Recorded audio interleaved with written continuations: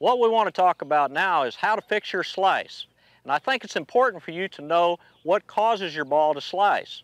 No matter whether the ball starts to the left and slices, starts at the target and slices, or starts to the right and slices, what makes the ball slice is the fact that your club face is open to the direction in which you're swinging. And so to eliminate your slice, what you have to do is to do things that would make the club face look in the same direction that you are swinging. So attacking this club face is going to help you cure your slice. What we have following are several different cures for you to try to find out which one will help you cure your slice.